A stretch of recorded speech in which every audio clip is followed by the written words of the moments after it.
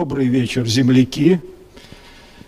Я человек здешний, родился, начинал учиться здесь. Если кто знает, привокзальный район замечательный, улица Красноармейская, такая длинная-длинная, ну, в Куйбышеве все улицы длинные, точнее, в Самаре теперь. Вот. Я, надо сказать, в Самаре первый раз, я был только в Куйбышеве до, до того.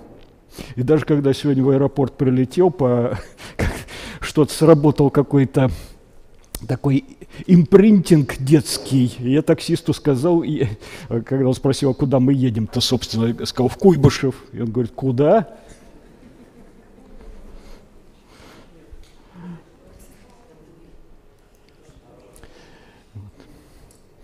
И палеонтологией, можно сказать, тоже начинал заниматься здесь, потому что был музей в этом, который еще тогда находился в здании костела, где теперь опять, насколько я понял, находится костел.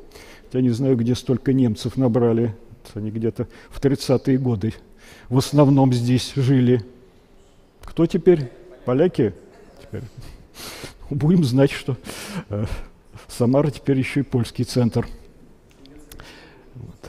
Ну и потом, опять же, если кто знает, вот э, дом у меня как раз стоял на краю, ну и говорят, сейчас до сих пор стои, стоит на краю парка Щерса, который до того был э, старым дореволюционным кладбищем. И когда мы там жили, как раз начали прокладывать какие-то магистрали. Я уже не помню, какие, то ли газ, то ли горячую воду, потому что у нас точно была до определенного момента только холодная вода, и начали вычерпывать в огромном количестве человеческие кости, черепа, и вот мы ребятами бегали, конечно, все это собирали, рассматривали, и вот такой получился палеонтологический импринтинг, с которым я дальше и уехал жить в Подмосковье. Что? Кликер. Да, у меня все. Теперь можем начинать уже официальную часть. Привет, здравствуйте. А, меня зовут Дмитрий Андромонов. Я приветствую вас а, от лица самарского филиала Архе. У нас сегодня а, почти открытие. На самом деле мы открылись в мае, к нам приезжал великолепный Владимир Сурдин. Кто-то, может быть, ходил на эту лекцию. У нас есть видеозапись в группе Архе Самара. Собственно, я вас всех агитирую вступать э, в группу Архе Самара ВКонтакте и э, в группу 15 на 4 Самара, где мы э, будем анонсировать все мероприятия. А, да, у нас почти открытие, в смысле мы открываем новый сезон, новый сезон, первый сезон, собственно. А, вот, мы планируем проводить мероприятия здесь раз в неделю, кроме следующей недели. Здесь будут выступать разные самарские лекторы, будет цикл об архитектуре от Ренаты Насабулиной. А, цикл а, тоже самарских историков а, местных, и к нам будут приезжать гости. В частности, через месяц мы ждем Алексея Водовозова. Следите за анонсами наших мероприятий. Где-то, ну, про Водовозова мы знаем, да, когда это будет? 19 октября, 18 воскресенье, по-моему.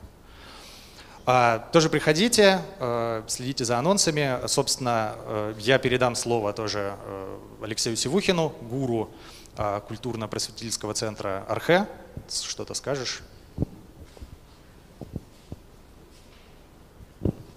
Здравствуйте, я руководитель центра Архе в Москве, и нам очень приятно открывать э, филиал здесь, в Самаре, и это такой не лишний повод приехать и еще раз посмотреть ваш замечательный город.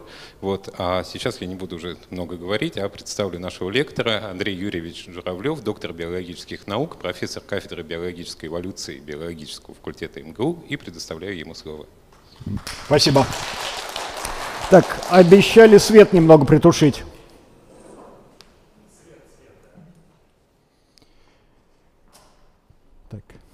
Но ну, я так понял, я и начинаю цикл, цикл лекций от самарских лекторов.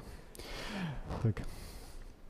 Ну, как вы видите на данной картинке палеонтологии, профессионально и на уровне любителей интересуются очень многие великие люди, которых вы знаете по американскому кинематографу. Ну и есть масса палеонтологов, которые до сих пор работают, в том числе и в России.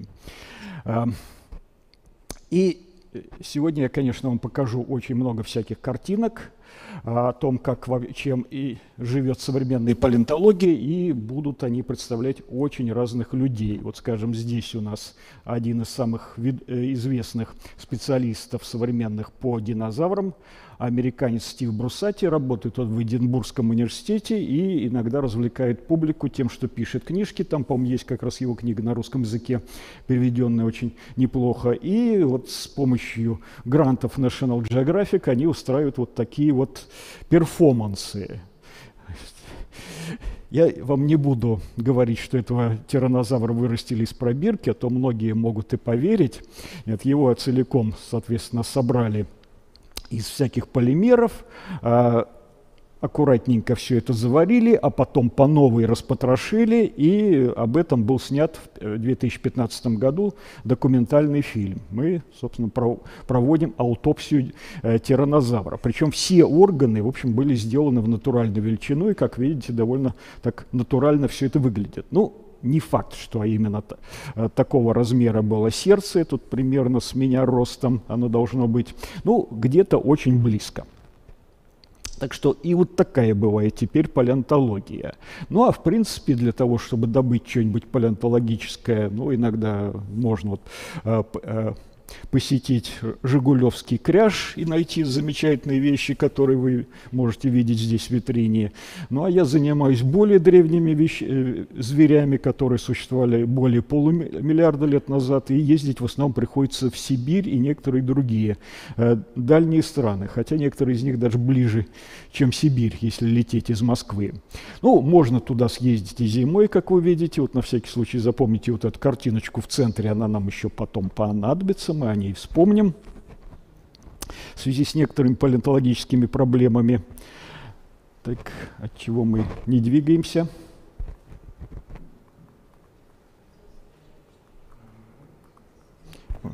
Понятно.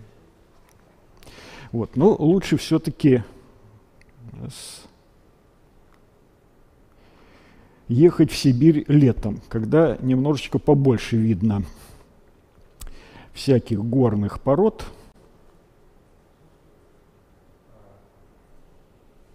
Так, это у кого заело?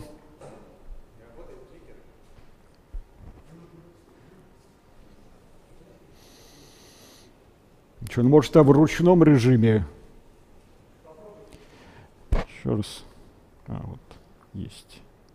Постараюсь, так, вот здесь, вот.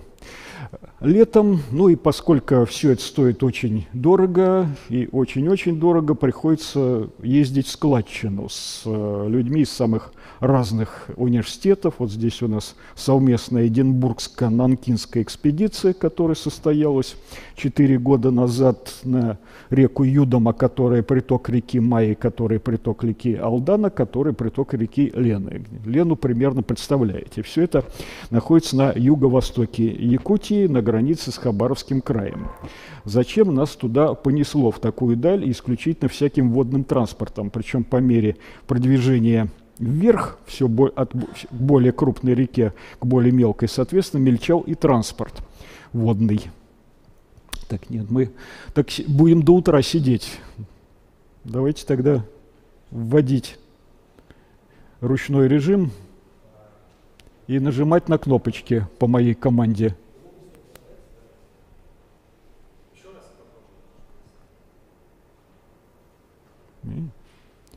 И хоть я, конечно, понимаю, что дорога дальняя, но не до такой же степени. Вот. Ладно, мы так будем пропускать эти красивые пейзажи, которые у нас богата Россия. И тут, кстати, вот эта рождественская елочка – это на самом деле украшение за счет исключительно естественных сетей пауков. Вот что они умеют делать в природе. Так, дальше. Дальше сразу пропускаем. Поехали дальше. И вот. И что мы там находим? Мы находим там всякие грибы. Вот этим грибам, которые вы видите справа, они как раз с реки Мая, и им больше миллиарда лет. Даже не буду называть, как этот век называется, период, точ, точнее, можно прочитать, а, как отличить гриб от негриба. Ну, надо вырастить и посмотреть, что получится, даже если этому грибу миллиард лет. Вот мы взяли, нашли маленький грибок, он начал у нас расти, расти, пока не вырос вот до такой степени. И тогда мы видим, что это шляпка спороносная, это у него ножка, которая состоит из гиф, из грибницы, а, и все это можно различить. Ну, понятно, что на самом деле мы, конечно, не можем прорастить гриб возрастом больше миллиарда лет, но мы можем собрать остатки разных возрастных стадий и вот так вот, вот выложить. Грибы, надо сказать, тогда были исключительно водяные, причем исключительно морские. Сейчас такие есть, как группа микроскопических одноклеточных грибов, которые уничтожают всякую органику отмершую, но иногда бывает и на живую перебирается, и тогда бывают всякие грибковые заболевания. Вот канадцам повезло несколько больше. У них гриб, правда, помоложе, но зато они нашли действительно целую колонию грибов и обнаружили, что там есть стенка двуслойная, внутренний слой состоит из хитиновых волокон, их можно определить по, э, собственно, компонентам органическим. Э, да, грибы, как и насекомые, это у нас в основном хитин. И едим мы этот самый хитин, и, конечно, мы его не перевариваем, так что грибов можно есть сколько угодно, точно не потолстеете. Ну, еще что, что важно, что они нашли вот эти трубочки грибницы, которые имеют перегородки, потому что, что важно, чтобы вот эти цилиндры, они, во-первых, были а, одного диаметра, чтобы перебрасывать а, всякие полезные вещества вместе с растворами от одной части грибницы к другой. Ну и в то же время они должны крепиться перегородками, чтобы эти трубочки не склопались. Вот это признаки исключительно грибов. Так мы их распознаем. Следующую картинку, пожалуйста. Даже если этим грибам больше миллиарда лет. А, ну, и дальше, если мы перебираемся на целых полмиллиарда лет в более молодые отложения, так притормозить немного, то мы видим уже потихонечку начинают накапливаться вот на тех же реках Майи и Юдами самые разные организмы. Вот сначала вообще непонятно что, такие вот кругляши, которые долгое время считали медузами, а потом, когда научились определять состав органики из э, веществ, которым, опять же, многие-многие сотни миллионов лет, выяснилось, что это колонии цианобактерий. А, а вот те кругляши, которые здесь, и тоже долгое время описывались как медузы, они на самом деле являются прикрепительными дисками всяких необычных идиокарских животных, у которых существовали более 550 миллионов лет назад. Но везде а, эта фауна называется мягкотелой, потому что никаких скелетных а, минеральных образований у них не было. Вот у нас есть скелет, мы не мягкотелые, хотя, по крайней мере, внутри у нас мощный фосфатный стержень. А вот в Сибири эти существа морские, мы все идем речь исключительно о морских отложениях, почему-то начали откладывать скелет. Ну, может быть, потому что очень много было карбонатов, было такое карбонатное, гигантское, очень теплое экваториальное море, где тогда находилась наша Сибирь э, у экватора. И они ни в чем себе не отказывали. Может быть, какие-то были другие причины, потому что одно, в одном случае скелет просто откладывается, потому что вы вместе с, впитывая всякие внешние жидкости из-под крана, получаете избыток карбоната, который куда-то нужен деваться. Вот чайник скипятили, там этот карбонат отложился. Кстати, какой там карбонат формируется, кто знает? В чайнике накипь из чего состоит? А, а точнее, все, все начали гуглить. Ладно. Доломит, такой э, карбонат кальция с э, примесью изрядной магния. Вот то, что мы здесь видим, у нас тоже в основном доломиты. Почему формировались именно доломиты? Э, долгое время тоже считалось, что вот как в чайнике нужно этот раствор вскипятить, то есть нагреть, э, и у вас э, будет взаимодействовать карбонат с ионами а, кальция и магния, и получится вот такая вот а, магнезиальная накопь или доломит. Но когда мы начали работать, а, опять же, в Сибири, точнее, продолжали работать в Сибири, нас все-таки заинтересовало, почему тут этот доломит иногда образует километровые по мощности, ну и так вот толщина по-геологически называется толще, но не может, чтобы вот вскипятили целый океан, и он отложился. И выяснилось, когда начали искать современные аналогии, да, доломит формируется при нормальной комнатной температуре. Просто для этого нужно а, чтобы бактерии создали бескислородную среду, из которой убирается сульфат. Сульфат, он очень активный ион, и он всегда магний первый поймает раньше, чем карбонат. Поэтому доломит не получится. Когда сульфат убрали, перевели, а, э, восстановили до, фактически до серы, до сульфида, начинает формироваться у нас в океане доломит. А это означает, что океан у нас был каким? Бескислородным.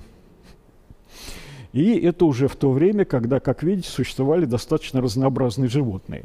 А по мере того, как кислород начал накапливаться в маленьких-маленьких дозах, животные становились все разнообразнее и разнообразнее, и после диакарского периода начинается кембрийский, прям в одних и тех же утесах мы все это можем проследить, вот это разные комплексы э, ископаемых буквально из одного места у реки Юдомы, и мы видим сначала, как я вам говорил, всякие диакарские непонятные существа, которых мы точно не знаем, животные они или кто-то еще, и потом появляются настоящие скелетные животные. Сейчас, да, конечно, таких нету, но все равно это уже предки современных моллюсков, и это совре э, предки современных всяких других животных, которые существуют до сих пор.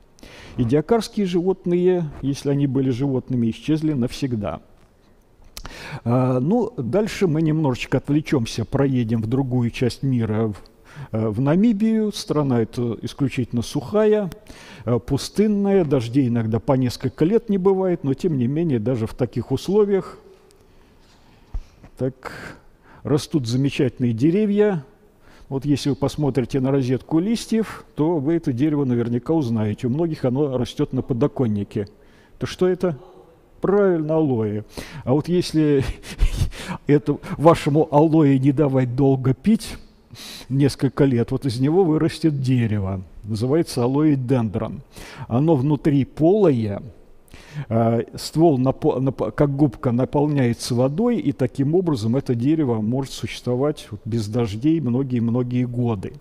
И вот эти, вот этим деревьям, которые вы здесь видите, им на самом деле больше ста лет каждому, потому что есть аэрофотосъемка различных лет, и они, каждый из них стоит на месте, зеленеет. Это проверялось. Но и поскольку там полно воды, вот э, местные люди, которых называют бушмены, а сами они называют себя народом сан, э, э, вставляют туда трубочку, когда хочется пить, и пьют. Очень удобно. Ну или, если нужно хранить э, мясо, то выскребают ямку в стволе и туда закладывают. Дальше корой заделывают обратно, и мясо может там храниться несколько месяцев, как в холодильнике. Ну а мяса, как видите, там много. Вон цесарки э, настоящие, живые, дикие, и многие другие птицы, как вы видели на предыдущей э, э, картинке животных. Ну и, конечно, пустыня Намиб – это настоящие горы, потому что они не шевелятся, вот наверху песочек перевивается, а вообще вот эти стоят э, внушительные по 200-300 метров э, дюны, они стоят на месте ведут себя как горы. И рядом с этими горами, опять же, очень много э, всяких ископаемых, ну, э, котор, которых мы называем идиокарской фауной. Здесь как раз показаны те самые исследования, которые доказали, что вот эти вот кругляши – это на самом деле э, колонии цианобактерий, потому что они содержат исключительно э, остатки жиров, которые бактериального происхождения, а вот эти вот странные ребристые вещи вроде дикинсонии, которые прекрасно когда-то жила у нас в районе Белого моря, скажем, в больших количествах, а, они на самом деле действительно животные, потому что, как и все животные, они накапливают в течение своей жизни. Что мы накапливаем в течение всей своей жизни? Кто знает? Холестерин. Полезете в интернет, узнаете, что мы накапливаем в течение всей жизни холестерин, а он никуда не девается, он переживет всех нас и превратится со временем в остаточные молекулы, которые называются холестероиды. И по ним можно узнать, кто это был и что он конкретно ел. А, э, чем еще хороши эти набибийские разрезы? Там, э, видите, вот такие белые полосочки.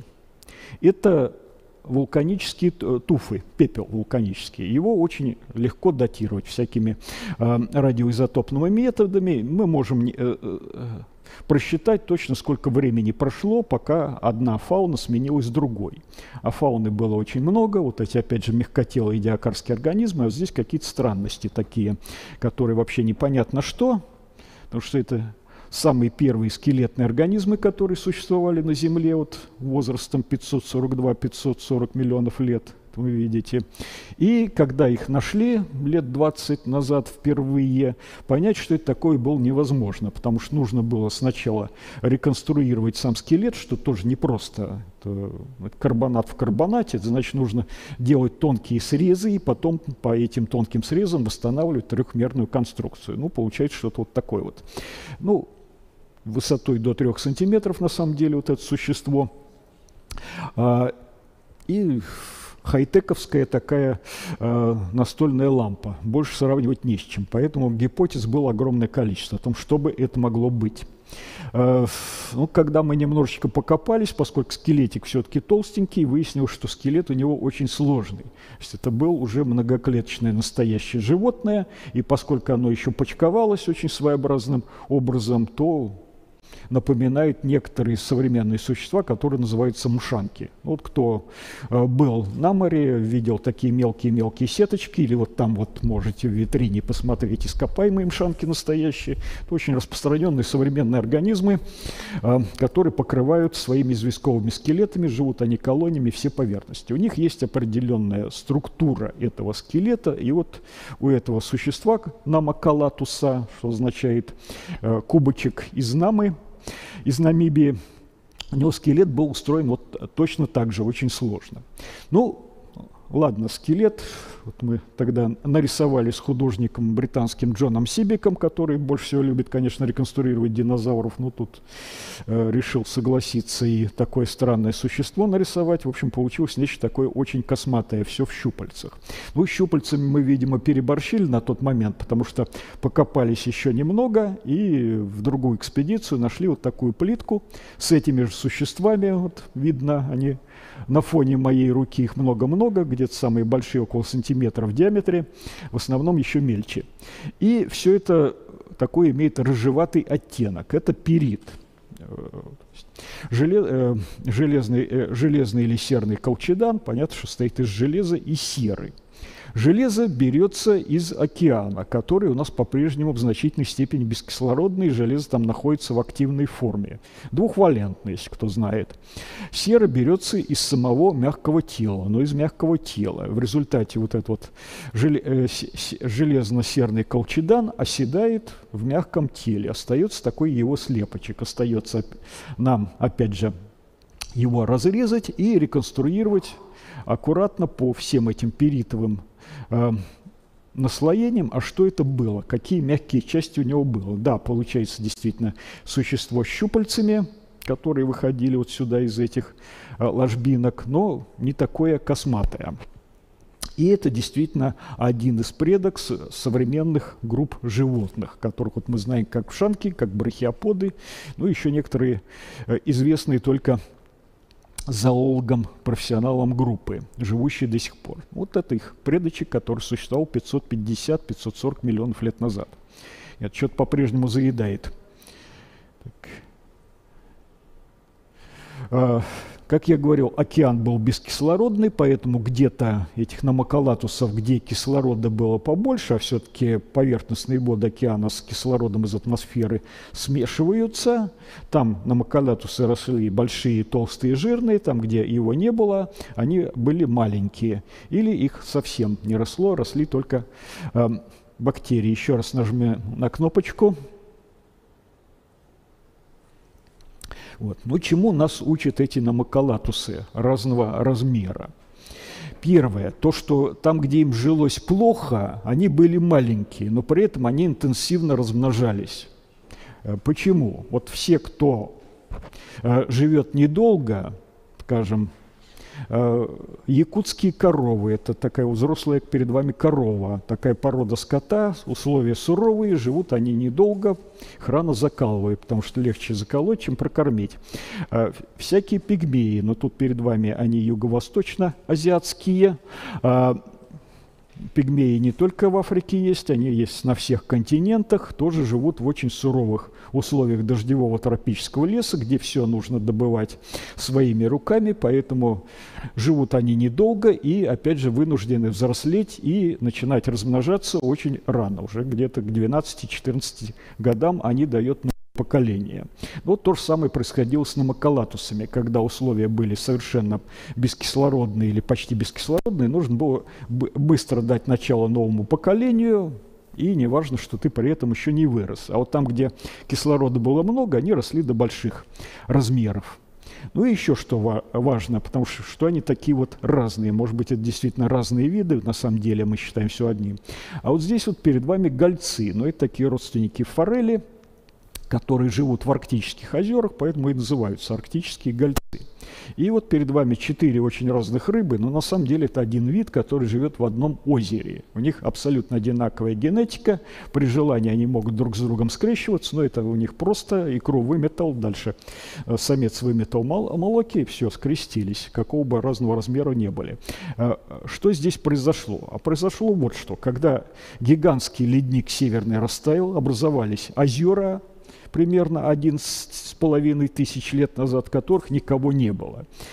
Птички заносят туда икру, из икры начинает развиваться рыба, и рыбе нужно занять все озеро. У озера, как, скажем, у шотландских лох, лохов может быть огромная глубина, и чтобы наполнить ее толщу, одни рыбы должны приспособиться к поверхностным водам, другие – глубинным, одни начинают расти быстрее, другие – медленнее, и начинает такое формирование различных как бы а, типов обитания. Если пройдет еще несколько миллионов лет, вот эти отдельные э, формы рыб, они превратятся в виды. Вот так, мы наблюдаем этот такой процесс, но в современных тоже озерах, в африканских, которые существуют э, несколько миллионов лет. Там вот начиналось все вот тоже с такого же, и превратилась, в конце концов, во много-много всяких видов усачей, барбусов или цехлит, которые тоже, может быть, кто-то знает из любителей аквариумистики.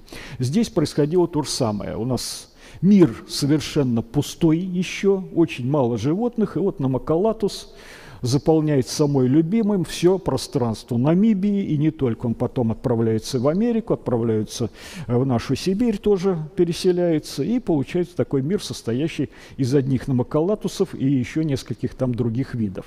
Если кто знает такой вид, э, Биин Джон Малкович, быть Джоном Малковичем, где, соответственно, главную роль играет Джон Малкович, и суть сюжета в том, что люди научи, нашли проход в его голову и туда путешествуют, смотрят на мир глазами Малковича. И узнав об этом, он решает сам попасть в свою голову. Но оказавшись в своей голове, он видит мир, состоящий из одних Малковичей. Женщин, мужчин, черных, желтых, белых, высоких, толстых, совершенно любых. Но одни Малковичи. Вот это был у нас такой же мир, состоящий только не из Малковичей, а из Намакалатусов. Вот с этого все начиналось.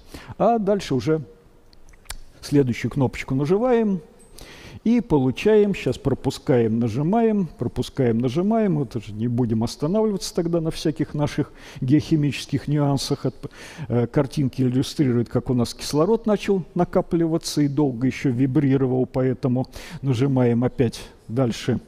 Э, животных было то больше, э, то много, то мало, то они были толстые и красивые, то мелкие и некрасивые. Все связано было с уровнем кислорода, потому что для того, чтобы построить скелет, для того, чтобы вырасти кислорода было нужно много, как и нам, потому что у нас есть такой орган, как мозги, который требует мощной кислородной подпитки. Вот если бы в мезозое не, начало, а, а, не начались процессы, которые способствовали а, повышению уровня кислорода в атмосфере, нас бы с вами здесь не было, потому что у нас бы не, было, не выросли такие мозги. А, а все начиналось вот тогда, в Кембрийском, в Идиакарском океане, около полумиллиарда лет назад. Так, перемещаемся еще в одно место, на этот раз это Южный Китай, это житница всей планеты, где выращивают самые разные фрукты, овощи, э, любые, любого цвета рис. Там на рынок приходишь, как в ботанический сад или ботанический музей, можно все рассматривать. И там еще самые древние, вот одни из самых древних многоклеточных водорослей когда-то росли. Все там же. И там а, появились, видимо, самые первые многоклеточные животные, хотя мы не знаем, кто они такие, потому что они дорастали до стадии эмбриона, окаменевали, и дальше мы можем изучать вот эти мелкие э, субмиллиметровой размерности, но максимум где-то 1 миллиметр размером э, э, крошки и видеть, что они состоят из клеток. Клетки состоят из разных элементов, в том числе мы видим даже ядра, в ядрах видим ядрышки, а этим остаткам 600 миллионов лет. Ну вот что синхротронная рентгеноскопия позволяет делать с палеонтологическими образцами. Не любыми, конечно, нужно, чтобы они трехмерно минерализовались. И дальше в том же Китае Сейчас в Южном Юнане висят вот такие красивые призывные плакаты с какими-то многоножками. И эти многоножки – одни из самых первых членистоногих, от которых произошло фактически все современное население. И раки, и пауки. Две разных линии членистоногих весьма. И опять же, если раньше вот такие находили отпечатки, ну вот ну, что тут смотреть особо? Ну, видно вот членистую поверхность, понятно, что членистоногое какое-то, э, может быть, иногда ножки было увидеть, но оказалось, что с помощью современных методов можно заглянуть в самые разные органы увидеть отдельно устройство кишечника, но это не проблема. Он, мы, опять же, много кушаем, как правило, поэтому у нас обогащается фосфатом весь кишечный тракт, потом прекрасно каменеет и превращается в такие замечательные окаменелости отдельные, которые называются кололиты. Вот э, кто знает, есть такое заболевание кишечные колики, но вот колики это на самом деле не от того, что в боку колет, а от греческого слова кишки. А, вот а кололит это окаменевшие кишки. Но оказалось, что можно увидеть не только кишки, можно увидеть кровеносную систему, потому что, как правило, кровеносные сосуды, они переносят в больших количествах железо или медь, если это членистоногие. Мы можем отследить по этим остаткам меди, железа, а, где была кровеносный сосуд, но оказалось, что можно увидеть даже нервную систему, потому что она тоже представлена самыми разными элементами и отследить, как она была устроена и как нервная система постепенно развивалась у разных древних организмов, превращаясь во все более и более сложную, потому что вот перед вами начало, где э, фактически ничего нету, и дальше начинают развиваться уже настоящие мозги, э, э, а когда глазиков еще четыре, и нужно сочетать сигналы, которые вы получили от каждого глаза, который при этом шевелится, можно направлять в разные стороны, представлять вот эту трехмерную картинку внешнего мира в этом мозгу, конечно, мозг нужен очень крупный. И вот так постепенно, по мере роста мозга, у нас еще и получаются очень крупные хищники. Ну, для Кембрийского океана, конечно, потому что тогда метрового размера существа были просто огромные. Все остальные несколько сантиметров размером, и это тоже можно считать средний размер. И вот этих огромных хищников, которые не были похожи ни на что современное, но только вот у них первые э, предротовые лапки были такие членистые, поэтому понятно, что они где-то были родственники членистоногих. И глаза у них сетчатые, фасеточные, как у стрекоз, что тоже показывает, что они родственники членистоногих, но при этом у них огромные мозги для того времени, очень, которые показывают, что это не просто были хищники, это были очень активные хищники, особенно в сочетании вот с, с устройством глаз, которых состояли из нескольких тысяч фасеток, как у самых мощных летающих членистоногих хищников, у стрекоз современных. То есть это были такие аналоги морские, причем стрекоз того мира. А, ну и когда, опять же, у нас ископаемый сохраняется трехмерный, при желании можно все это э, от, оцифровать и потом то существо, которое несколько миллиметров в диаметре, распечатать в деталях на трехмерном принтере размером любым, и можно засунуть туда голову и рассматривать, как вот это миллиметровое существо выглядело изнутри, во всех, опять же, деталях. Вот когда оно фосфатизируется, э, формируются фосфатные минералы, вот все получается, застывает на сотни миллионов лет, опять же. Ну и, в общем-то, нам всегда интересно не то, что данное существо когда-то было, а как оно вообще жило, как оно питалось. Э, это, конечно, немножечко более изощренные нужны методы, уже мало получить его просто трехмерное изображение, нужно еще изучить как-то, как двигались его конечности, что можно при современной компьютерной э, программах. Тоже при, с помощью компьютерной томографии получить трехмерный слепок, а дальше изучать, соответственно, с помощью дополнительных программ, как будут двигаться конечности, как это существо членистоногое будет жевать, но членистоногие, в отличие от нас, жуют пищу не внутри себя, а, а снаружи. Вот с, с помощью, ну, если вы видели рака, вот видели у него клешни, на самом деле, там вот этих клешней всяких подклешней очень много, и когда рак ест, это постоянное движение, манипуляция этими конечностями, как он разделывает добычу. Ну, порядка 20 разных манипуляций совершает, чтобы ее растянуть, расчленить, разрезать. В конце концов, когда там уже остается э, э, маленький э, весь промятый кусочек, там можно запихнуть в рот, проглотить. Э, и вот эти вот древние членистоногие, они поступали то, то же самое. А так же, только у них не было клешней еще мощных, поэтому они жевали специальными жевательными отростками. Вот здесь мы их видим, вот крупным э, увеличением мы видим так, видите такие темненькие зубчики. Почему они темненькие? Потому что здесь усиленная хитиновая кутикула, чтобы ломать панцири или раковина. Вот перед вами дырки, которые были взломаны таким образом.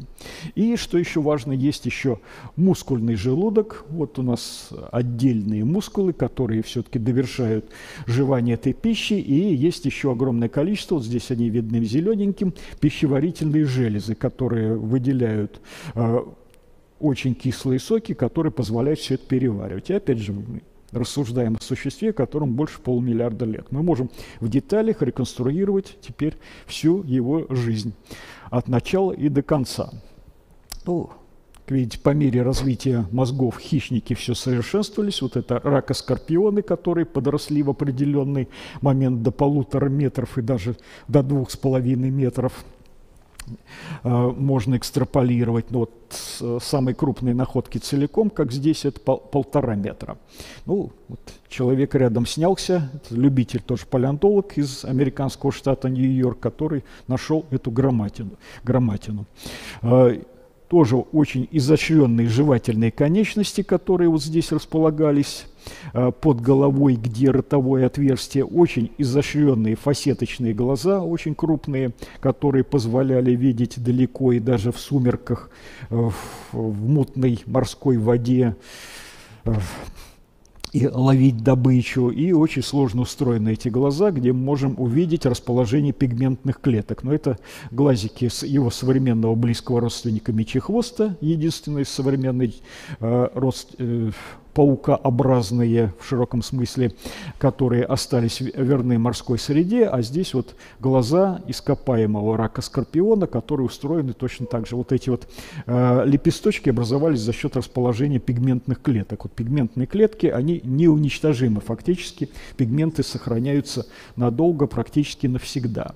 Ну и с помощью, опять же, разных методов можно реконструировать разные существа по отдельным их э, сколам, срезам. Ну, иногда приходится делать несколько э, тысяч вот таких вот срезов, чтобы реконструировать вот, животное целиком. Не везде можно вытравить э, его из породы и рассматривать. Иногда вот приходится все равно э, добывать вот такие вот круглые конкреции, потом разрезать их на сотни частей и с помощью компьютерных всяких программ реконстру...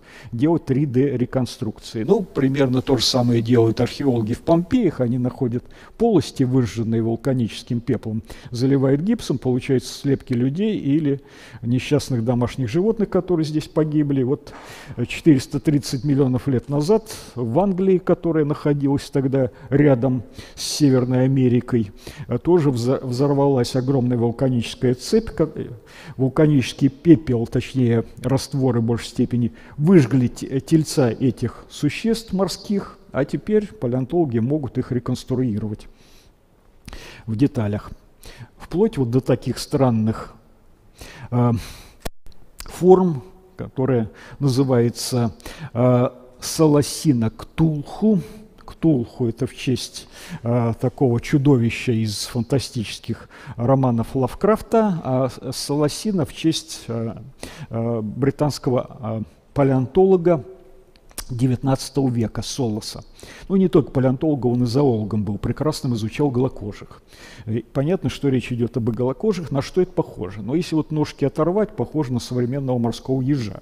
И действительно, у него были зубы, как у всех современных морских ежей, ну, почти всех. Вот такие вот причем самозатачивающиеся, такая удобная биологическая конструкция, когда у вас зуб тупится, э, отламывается ненужная часть, дальше опять идет заостренное лезвие, которым можно грызть породу или чей-то чужой панцирь дальше. Вот зубы у этого существа действительно были как у морских ежей, панцирь вот тоже похож на ежовый, а вот если присмотреться к этим ножкам, которые, правда, тоже были покрыты известковыми пластинками, то оно напоминает современный галатурий. Потому что на самом деле, это вот, когда мы говорим о переходных звеньях, переходных формах, вот это замечательная переходная форма между морским морскими ежами и галатуриями. Да, зоологи могут сказать с помощью методов а, молекулярной биологии, генетики, что морские ежи и галатурии близкие родственники. Но как выглядел этот близкий родственник, точнее, соединяющих форм, они предсказать не могут. Все, что они до этого рисовали, оно совершенно оказалось не похоже на то, как это выглядело в реальности. Вот так. Вот из этого, из морских ежей через такие формы получились галатурии. Ну, потом немножко вытянулись, потом отказались от табличек, мы все это в палеонтологической летописи находим, и превратились вот в современные мягкие морские огурцы. Так, помогите на кнопочку нажать. Так, ну ладно, это пропустим. Грибы не всегда были такими маленькими микроскопическими, как я показывал в начале, вот примерно в то же время, когда у нас взорвались эти вулканы в Англии, э, на суше э, там существовали грибы, которые вырастали размером под 9 метров. Поэтому долгое время, ну, вплоть до вот э, последних лет, считалось, что это, конечно, не, может быть чем угодно, но никак не грибами, потому что 9-метровый гриб, ну как он вообще держаться на ножке будет? А, тот палеоботаник, который его описал, Доусон американский, был очень крупной величиной XIX века, один из критиков теории Дарвина, но тем не менее он описал его как ствол именно дерева. Потому что, ну, такого размера, метр в диаметре, 9 метров высотой. Что это еще может быть, кроме дерева? Потом, когда убедились, что это все-таки не дерево, а, стали возникать другие гипотезы, какие-то свернутые лишайники, какие-то свернутые высохшие водоросли, так рулончиком смотались. Ну, в конце концов, изучили, опять же, остатки в стеклянных препаратах, точно так же, как изучаются в современные на срезах, а благодаря вулканическим растворам, но Англия вообще долгое время была вулканическим таким микроконтинентом, все это прекрасно сохраняется. Казалось, что устройство у него точно такое же, как у современных сморчков и строчков, которые называются сумчатыми грибами. Почему сумчатыми? Потому что у них есть вот такие внутри плодового тела, похожие на стручочки образования, где содержатся э, споры, и эти стручочки называются сумками. Отсюда сумчатые грибы. Вот перед вами сумчатый гриб, похожий на современный какой-нибудь строчок, только вот это вот существо у нас хоть и здоровое, но всего 20 сантиметров высотой, а это 9 метров.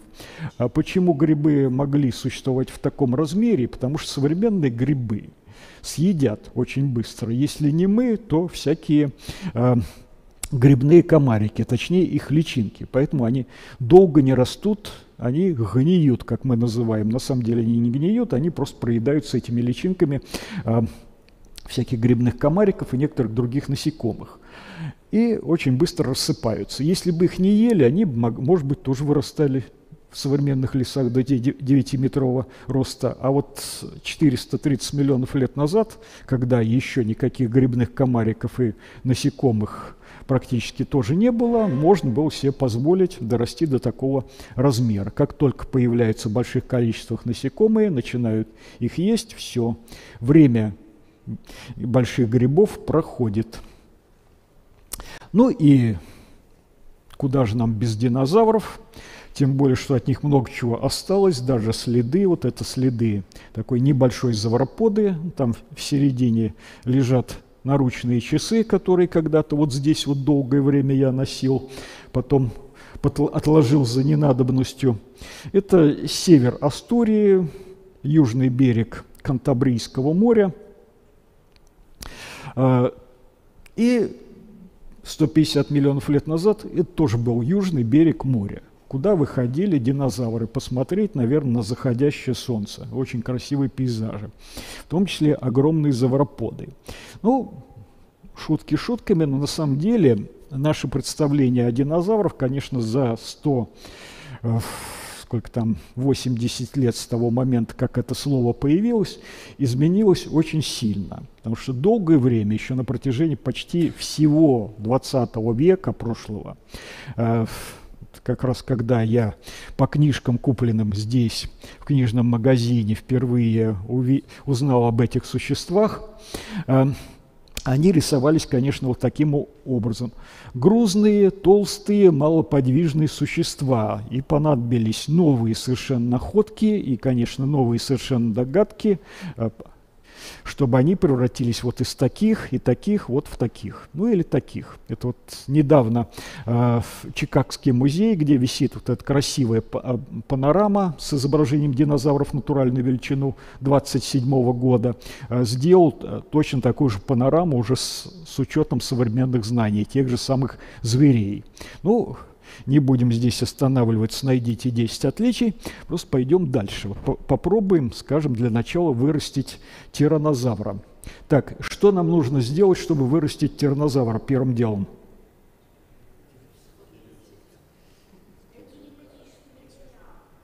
Чего? Ну, я бы начал с того, что отложил яйцо. Все-таки.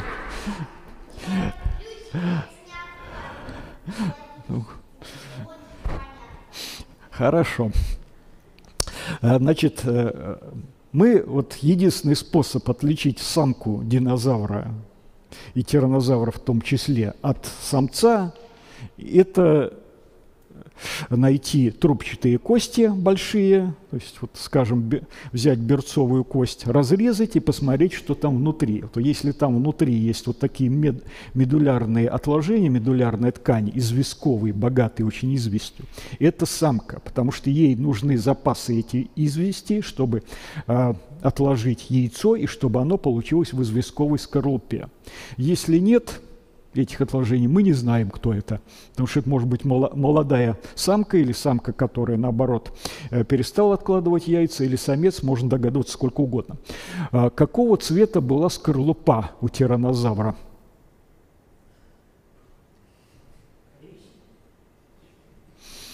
Давайте подумаем. А, ну, в последнее время, опять же, с помощью методов всяких геохимических удалось установить, что вот эти вот красивые цветные яйца динозавров, ну, скорлупа, они при жизни действительно были такими, потому что э, вот этот цвет скорлупы, он э, образуется за счет разных белков. Или биливердина, тогда они получаются такого красивого цвета индиго, или протопорфирина, тогда они получаются коричневые, как у современных курнесушек. Есть кто любит яйца с коричневой скорлупой, считает, что там больше каротинов. На самом деле не так, одинаково. На всякий случай спойлер. А, вот. А, были вот такие цветные, точно такие же цветные яйца и у динозавров. И мы их находим у современных птичек. Так, еще раз нажимаем на кнопочку. Вот. Здесь вот с одного небольшого участка тундры несколько птичек. Это такой есть резерват Кытылык в низовьях реки Индигирки на севере э, Якутии. Там гнездится 90 видов птиц. Да? Территории в несколько гектаров. Причем эти птицы прилетают туда гнездиться со всей планеты. Там есть птицы, которые прилетают э, из э, Южной Африки, из Австралии, из Южной и Северной Америки, из Юго-Восточной Азии, даже из Антарктиды одна крачка прилетает вот через все полушарие из одного э, заполярья в другое заполярье, чтобы отложить здесь яйца, вырасти и улететь обратно в Антарктиду. Вот Странное, конечно, поведение. Э, Но ну, сейчас обратим внимание на цвет яиц.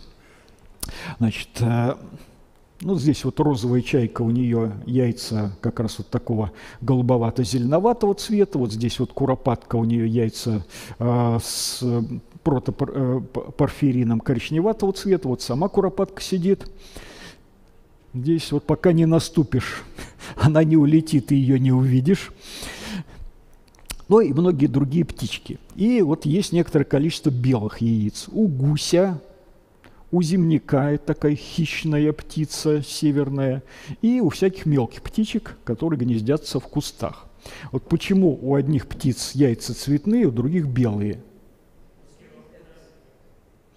Ну, в принципе, это связано с, с их поведением. Потому что как бы долго птицы не высиживали, даже как, скажем, у розовой чайки, где самец и самка э, яйца высиживают по очереди, у них такой э, пересменок, все равно бывает момент, когда надо отлететь обеим. Или Просто когда налетает какой-то хищник, иногда надо спрятаться.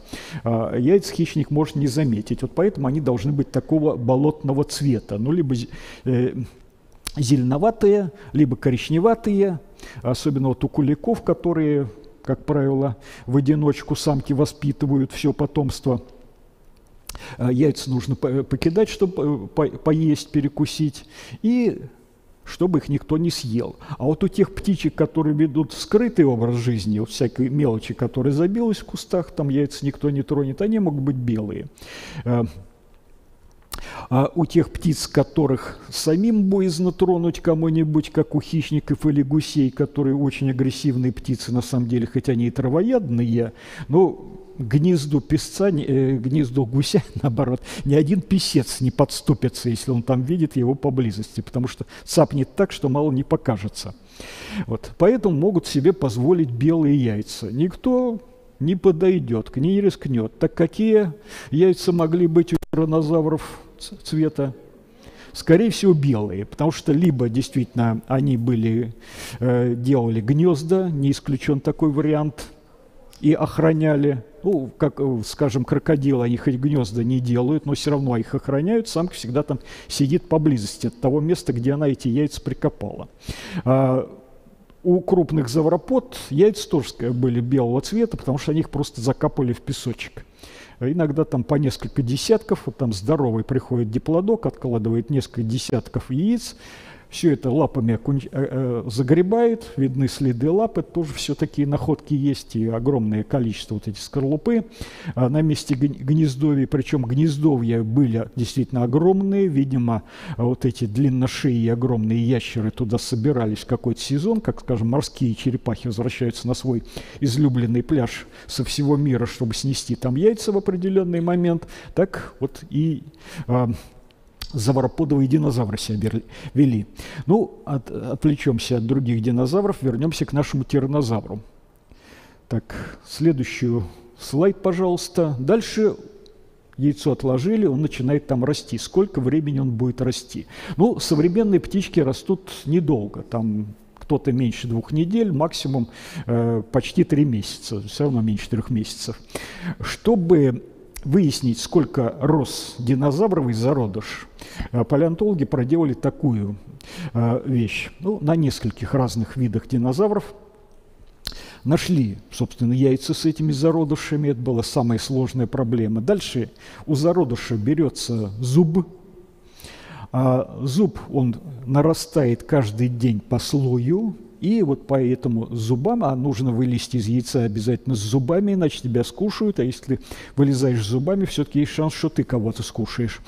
А, И по этим зубам, э, по нарастанию, определили, что развитие зародыша, ну, в зависимости, видимо, от размера динозавров, происходило на протяжении двух, трех, даже четырех месяцев. То есть росли они исключительно долго. Ну, понятно, что они вырастали более крупных размеров, чем в среднем птицы.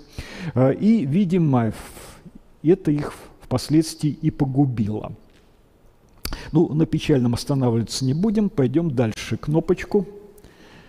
Значит, вылупился у нас тиранозаврик, небольшой, вот такого примерно размера. Здесь, в общем, особь изображена очень близко к тому, что реально из яйца вылуплялась. Почему мы это знаем? Потому что были найдены вот такие вот челюсти. Ну, вот здесь внизу они показаны более крупным планом. А вообще, по сравнению с другими мелкими челюстями, вот они, это размер где-то сантиметр длиной.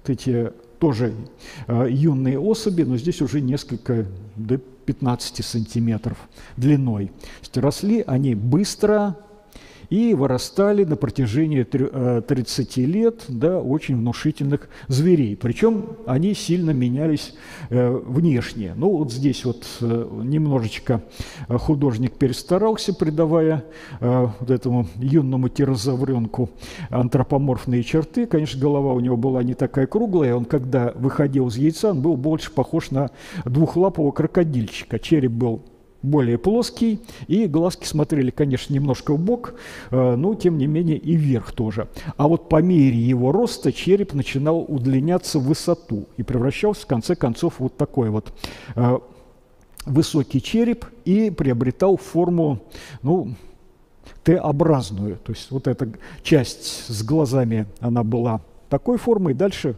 длинная-длинная пасть уходила, ну, почти на полметра вперед, узкая тоже. И по мере вот этого роста еще укреплялся сам череп. Вот швы между костями особенно в районе челюстей, где особенно мощные нагрузки, они у юных динозавров были практически плоские, а потом становились вот такими. Потому что было скрепить эти кости, чтобы они не сломались, когда грызешь э, костистую крупную добычу, которая при этом еще шевелится, из зубов вырывается.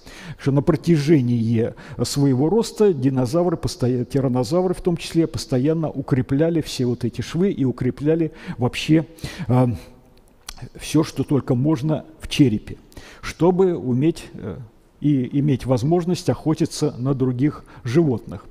Э, что у нас при этом вырастало? Ну, вырастало существо размером под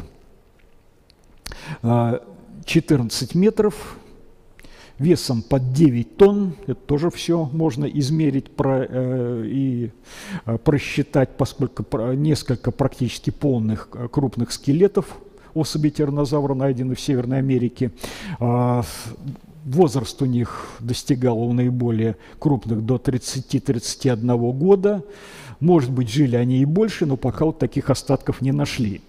И понятно, что поскольку животное крупное, э, пусть даже это рептилия, ну, есть большая голова, а в большой голове есть большой мозг у современных млекопитающих, у китов и слонов мозги тоже очень большие, потому что они сами по себе большие. Но раз мозги большие, они все равно, независимо от того, а, кто будут хорошо работать. Вот у тиранозавров мозги, видимо, работали очень неплохо, потому что по некоторым деталям этого мозга мы можем сказать, поскольку были развиты обонятельные луковицы, значит, они чувствовали запах очень хорошо. Э, ну, некоторые делают поспешные выводы, значит, они исключительно за падалью ходили, учуяв ее запах. Ну, чтобы э, э, учуять падаль, одного э, восприятия запахов было достаточно. Но у них еще был прекрасный слух и к низкочастотным э, волнам, и к высокочастотным волнам.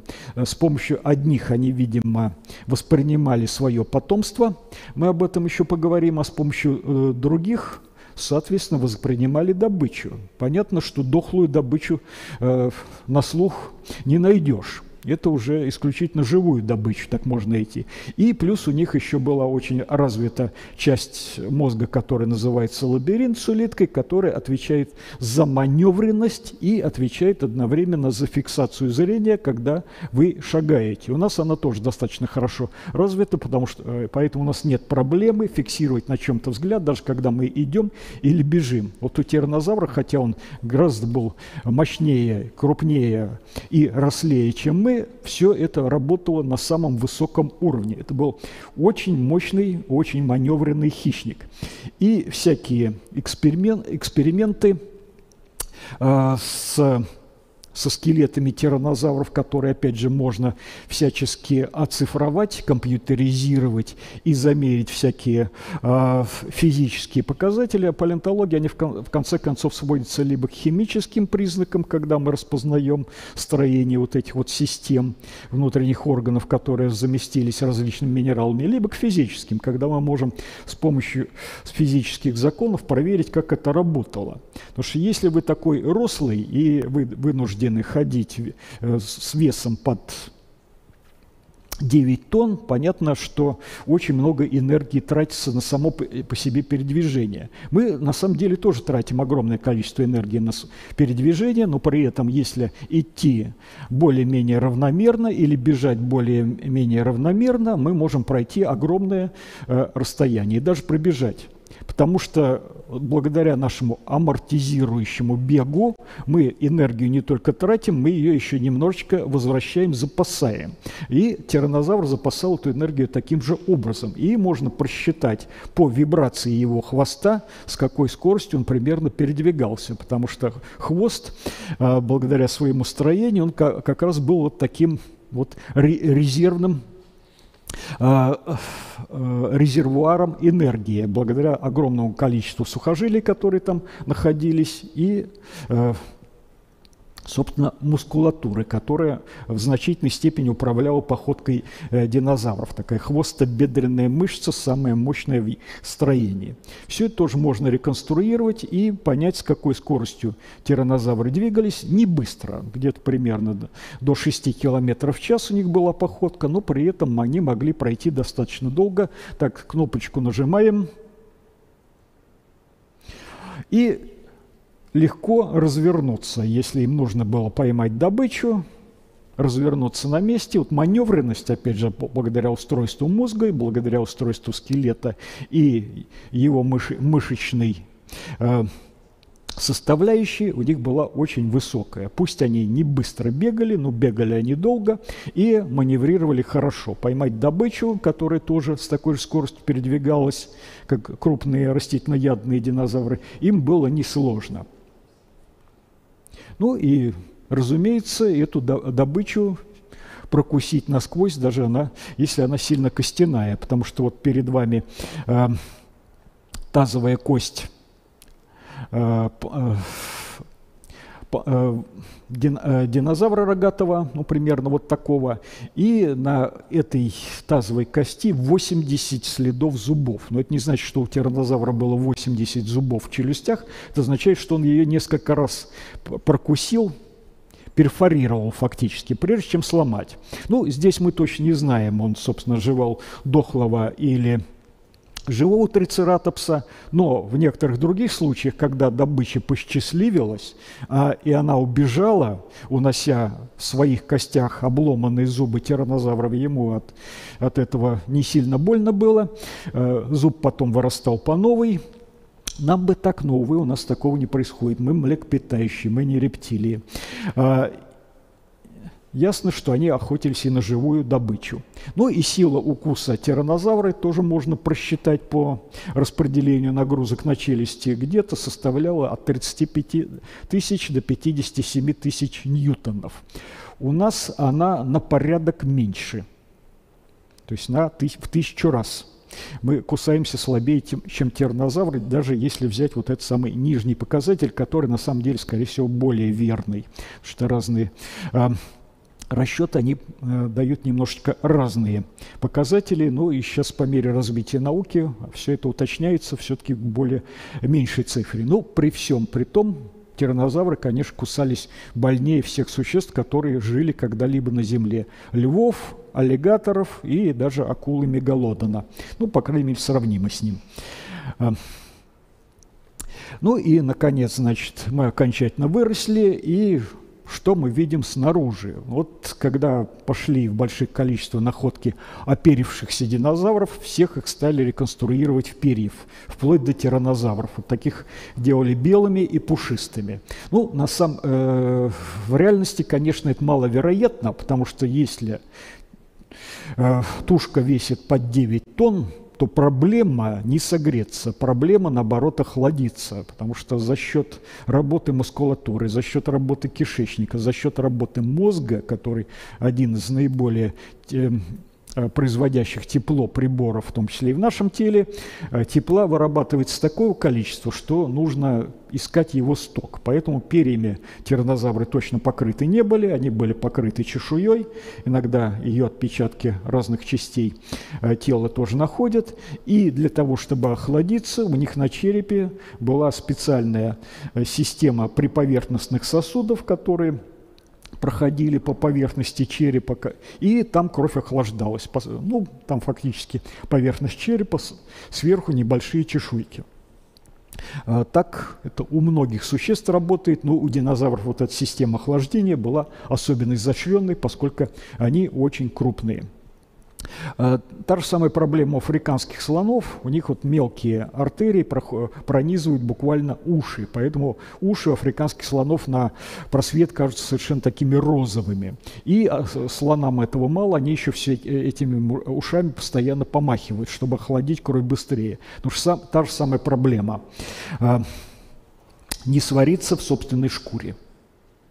Ну и о том, что тиранозавры и другие крупные хищни, хищники среди динозавров были действительно очень страшными существами, можем судить по степени защиты растительноядных динозавров, которые были покрыты все шипами, несмотря на то, что это тоже тушки в полтора слона величиной – имели всякие защитные приспособления, как булавы на хвостах, чтобы отбиваться, и это действительно работало так, тоже проверено с помощью биофизических методов. Но и этого мало, нужно было вот таким огромным существам еще иметь защитную окра окраску. Вот по пигментам, а, которые сохранились в шкурках мумий динозавров, иногда палеонтологам везет, они находят и такие вещи – а, удалось установить, что вот эти панцирные динозавры были а, пятнистыми и покрыты рыжими пятнами, как какие-нибудь современные э, олени и антилопы. Вот все для того, чтобы спрятаться, быть незаметными. Вот современные животные, даже, как я говорю, размером в полтора-два раза меньше, чем этот панцирный динозавр, вроде слонов, носорогов, лосей, они имеют такой, в общем, э, то, что называется, немаркую окраску, серенькую. Им прятаться незачем. Поэтому незачем тратить э, лишние ресурсы на какую-то окраску шкуры. А вот в динозавровом мире вас бы такой размер уже от хищника не спас. Ну и Бежать тоже особо было некуда, потому что если вы суетесь в реку, там вас ждет другой хищник, тоже под 14 метров длиной, но он еще и водоплавающий. Вот когда спинозавра впервые нашли в начале прошлого века а, в Египте, э, немецкий палеонтолог Эрнст Штербер, э, он нашел этот гигантский гребень, он нашел странную такую челюсть, похожую на крокодилью, вроде бы совершенно не динозавровые черты. И долгое время, по аналогии с другими динозаврами, его рисовали на двух задних лапках с таким мощным мускулистым горбом. Но по мере изучения, особенно в последние годы, выяснилось, что действительно э, Череп у него был как у крокодила, с характерными ямками, где прятались специальные э, воспринимающие органы, которые нужны в воде, э, ну, совершенно бесполезны на суше. Э, этот гребень выполнял роль паруса, может быть, для того, чтобы удобнее было плавать, а может для того, чтобы как раз согревать эту тушку. Которая охлаждалась в воде. Ну и, наконец, самая главная находка последних лет – это сам хвост, который очень похож на плавник лю любой рыбы. Ну и В общем, почему спинозаврам не было быть водными хищниками, когда африканские реки той поры, примерно 70 миллионов лет назад, вторая половина мелового периода, кишели всякими существами. Здесь и акулы, пелоносы, и различные кистепюры рыбы, и чего там только не было. И все они одна громаднее другой. Одних крокодилов там водилось около 15 видов. А для крупного ящера, крокодил тоже добыча. Так, еще раз нажали на кнопочку. А, ну ладно, про всех динозавров вспоминать не будем. Поехали дальше. Их можно рассказывать до бесконечности, потому что у каждого было свое ноу-хау, в том числе вот мелкие динозавры, они постепенно начали превращаться в птичек, а у них мозг приобрел совершенно птичье строение, и вот этот лабиринт и улитка мозга были устроены точно так же, как у современных летающих птиц. Но при этом они все еще бегали э, по земле, но были очень высокоманевренными. Вот это развитие улитки, которое э, позволило некоторым динозаврам стать птицами, оно как раз было связано с вот этим бегом по земле, маневренностью и, видимо, забеганием на какие-то э, полувертикальные препятствия, где это, такое устройство э, тоже помогает. Так, еще раз кнопочку нажали. И по там, строению той же улитки, сравнивая с различными птицами, можно например, сказать, что некоторые динозавры, они были ночными хищниками, которые очень хорошо, опять же, воспринимали как совы низкочастотные э, звуки. У них были огромные глаза, как у сов. А, ну, скорее всего, они так же, как и совы, охотились в основном на насекомых. Вот. Ну, Всяких перьев у динозавров тоже было очень много. Я остановлюсь вот только на паре примеров. Ну, во-первых, опять же, мы видим э, всевозможную защитную окраску, либо пятнистую, либо полосатую, и мы можем восстановить, а какой динозавр этот был, полосатый, пятнистый или монохромный, одноцветный, как нам кажется. Почему нам кажется, сейчас скажу э, э, потому что эти пигменты хранятся в специальных пигментных тельца, которые называются меланосомой, и меланосомы в зависимости от пигмента имеют разную форму.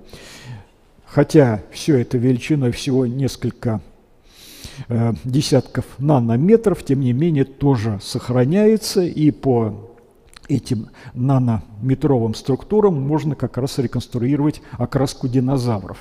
И когда меланосомы выстраиваются такими плотными э, рядами вдоль поверхности, получается то, что мы называем радужная окраска. Они начинают как зеркальца отражать э, и разлагать белый свет, который на них падает, и получается вроде бы динозавр черный с перьями, но на самом деле он красиво переливается, фактически как павлин. А поскольку динозавры, как и птицы, обладали тетрахроматическим зрением, то, конечно, все им представлялось им гораздо более ярком свете и разнообразие оттенков, чем нам. У нас зрение трихроматическое, мы видим три цветовые волны, а птицы-динозавры видели, ну, птицы и видят по-прежнему ультрафиолетовый еще, спектр динозавры, вероятно, видели, поскольку родственники птиц, и, судя по красивому оперению, э, красота внешняя навсегда сопряжена с вашим зрительным восприятием, э, то можем, в общем-то, об этом говорить достаточной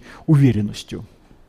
У нас на самом деле зрение, оно даже не трихроматическое, а двух с половиной, потому что э, когда-то наши предки три, потеряли пигменты восприимчивые к красному цвету, а потом все это восстановилось по-новому. И проблема еще в том, что это связано с той самой X-хромосомой, которая у женщин есть, а у мужчин она Y-хромосома, поэтому среди мужчин дальтоников гораздо больше, чем среди женщин. И цветовые оттенки мы различаем тоже гораздо хуже. Поэтому бесполезно спрашивать э, мужчину, мне вот это розовое платье одеть или вот это. Оно для него одинаковое, а для, а для вас разное. Ну и, конечно, появление перьев, оно связано с тем, что динозавры в конце концов полетели, часть из них в итоге стала настоящими птицами, а часть из них развивала всякие способы полета, вот такие четырехкрылые, э, которые, в общем-то, тоже вполне себе позволяли нормально летать, маневрировать, ловить насекомых, может быть, даже птиц, которые в то время уже существовали. Это одни из самых последних динозавров. А, но совершенно иной конструкции. Тоже не буду все конструкции, у них было очень много разных показывать. А, не все они на самом деле, даже имея крылья, летали. Некоторые вот как раз только бегали.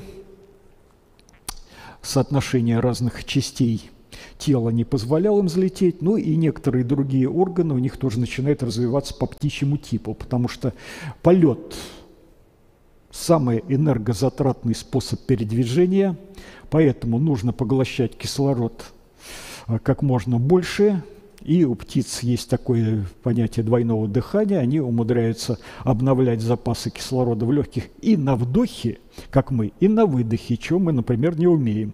Потому что есть специальные воздушные мешки, куда все это закачивается, потом прокачивается по новой. И у динозавров эти воздушные мешки тоже формируются, мы это видим по полостям в костях, где эти воздушные мешки отчасти находились, и по строению грудной клетки, которая превращается в такой единый каркас, который работает как меха, потому что ребра связаны между собой такими крючочками поперечинами, превращают все это в единую конструкцию. Э, легкие фиксируются фактически на спине, чтобы не колыхались, что тоже а, облегчает процесс вот этого двойного дыхания. Все это происходит еще у динозавров. Ну и два таких тоже важных момента. Первое, для того, чтобы летать нужно успеть избавиться от лишней пищи, которую вы съели, потому что когда вы наелись хорошо, взлетать тяжело. Можно, конечно, постараться, помахать крыльями, но вы тогда всю свою энергию быстро затратите. А можно часть пищи, э, которая наиболее ценная, оставить в желудке, а часть просто отрыгнуть. Всякие кости, чешую, которые не нужны, вы их все равно не переварите. А для этого нужен зоб, куда все это выходит – и дальше, соответственно, выкидывается наружу. Э, тоже есть э, специальный палеонтологический э, термин, такой регургит, это буквально окаменевшая отрыжка. Вот у динозавров находят тоже такую с костями ящериц, с чешуей рыб, и это показывает, что у них начала работать система пищеварительная, точно так же, как у птичек. Больше ни у кого такого нету. И еще один важный момент, поскольку, опять же, э, полет очень энергозатратный, поэтому температура тела э, сильно повышается за счет работы мускулатуры. Вот самых мелких птичек самая высокая температура, у калибри нормальная температура э, где-то 45 почти градусов. Мы при этой температуре уже становимся трупами а, от перегрева. А, и понятно, что нужно как-то и охлаждаться. Вот для этого в каждой клеточке существует специальная дырочка, а, ну в клеточке не э, кожной, где можно выдавить капельку жира, который мы называем потом. Вот с помощью выдавливая этот пот мы тоже охлаждаемся. И вот появление э, э, в коже динозавров вот таких дырочек в клеточках, которые тоже можно найти. И она, они точно такие же, как у тех же самых калибри, показывают, что вот в этот момент динозавры начали потеть, и в этот момент они окончательно стали птицами. Ну, некоторые из них, конечно, не все. Тиранозавр, увы, так и не взлетел, а так бы и Боинг бы нам не пришлось строить конструкции. Ну и некоторые примеры вообще того, как это исследуется э, по находке различных металлов, потому что оказывается, что э, наши органы, они очень по-разному накапливают металлы. Ну, понятно, что в крови будет больше железа. Мы э, всякие кровеносную систему, даже легкие, можем обнаружить остатки по избытку железа, когда самих легких, конечно, кровеносной системы нету. Но другие органы, они тоже почему-то умудряются накапливать разные элементы, почему-то разные. Палеонтологи, как ни странно, обнаружили это раньше, чем биологи, и начали задавать соответствующие вопросы биологам. И биологи пока еще окончательно так и не смогли э, придумать, как на это ответить. Но, тем не менее, вот в палеонтологии все это работает.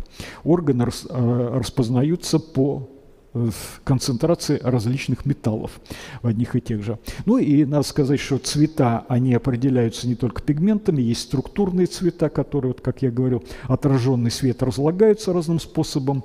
Вот особенно это распространено у птиц и насекомых. Мы видим вот такую радужную окраску, на самом деле окраски нет. Это одна ее видимость, потому что мы воспринимаем отраженный разложенный свет – и они точно так же, но только лучше. Насекомые, кстати, тоже.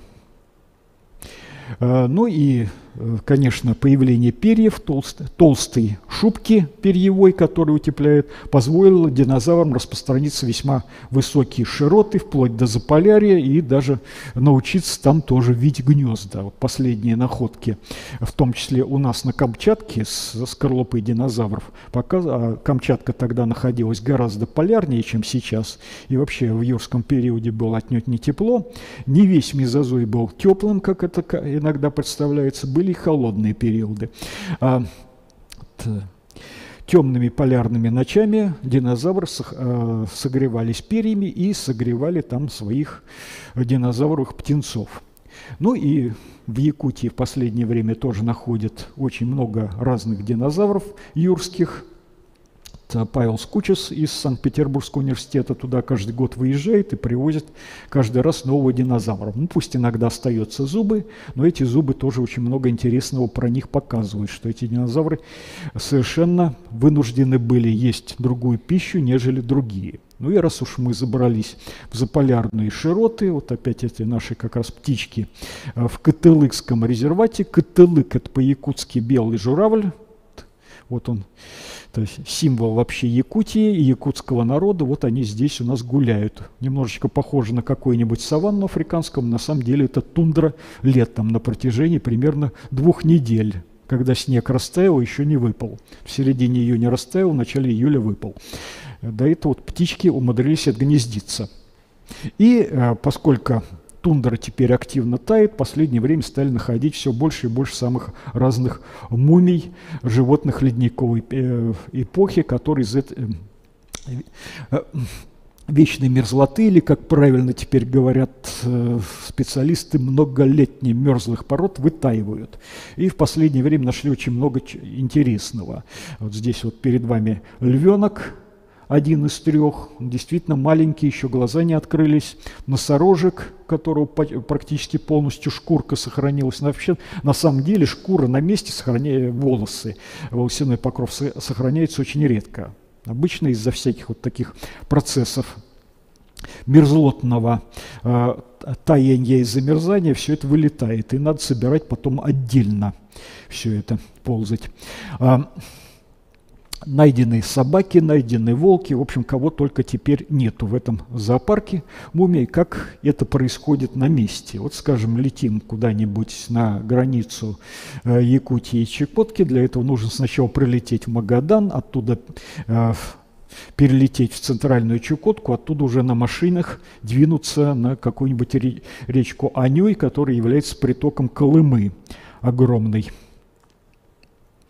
А, там Э, летом животным живется совсем неплохо. Видите, какой откормленный суслик. Я его даже по размерам за жирного сурка принял. Оказал всего-навсего местный суслик.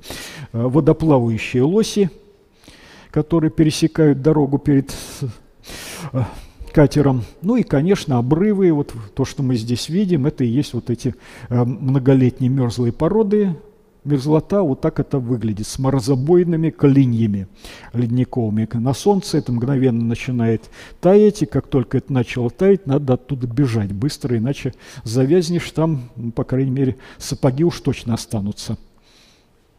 Так, еще раз нажали кнопочку. А, и что мы здесь видим? На самом деле мы видим чередование вот таких летних и зимних условных сезонов. Точно не знаем, потому что может быть несколько э, лет, когда лета вообще нету, и может быть наоборот.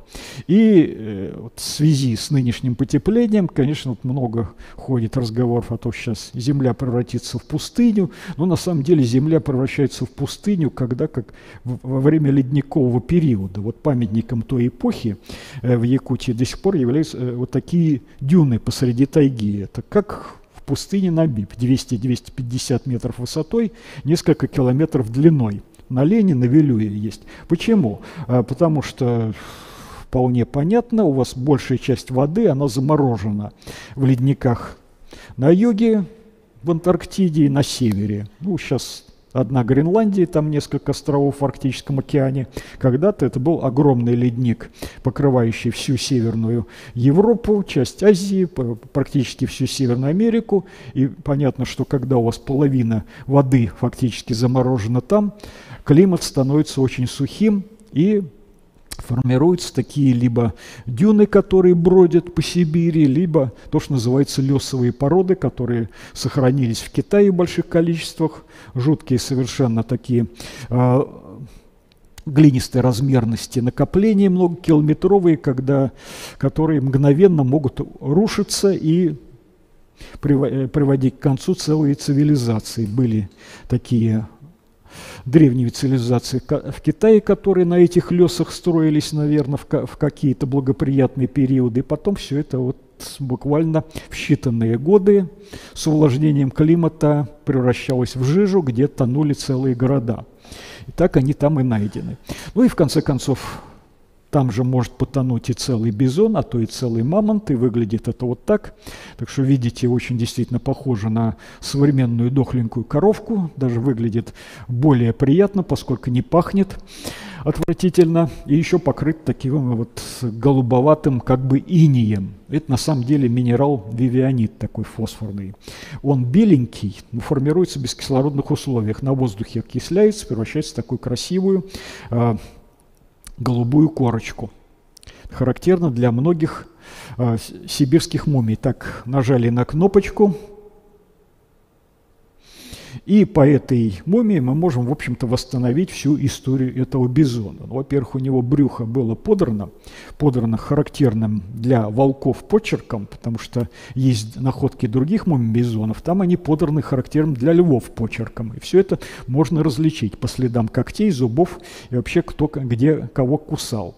Ну и э, когда этого несчастного бизона волки начали кусать, загонять, он, ну, увидели, что он такой небольшой, молоденький, еще не очень опытный.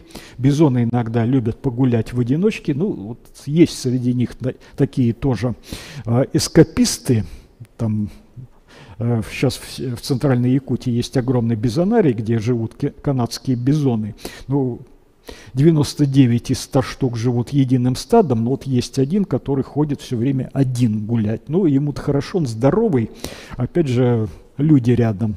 А вот пошел бы он погулять в какой-нибудь плейстоценовой тайге, ну, либо волки, либо медведи, либо львы. И все. Вот так с этим бизончиком случилось. Ну, а он увидел вот такую красивую лужайку, прыгнул туда. Лужайка – это на самом деле плавучая. Когда вы туда ступаете, все это переворачивается, и вы оходи, а, оказываетесь в ледяной вязкой жиже и идете ко дну стремительно. А, ну, зато сохраняетесь на века. Вот этому бизону, который я вам показывал, почти 50 тысяч лет. То есть есть такой шанс остаться в вечности. Вот как раз эти бизоны из того самого якутского бизонария.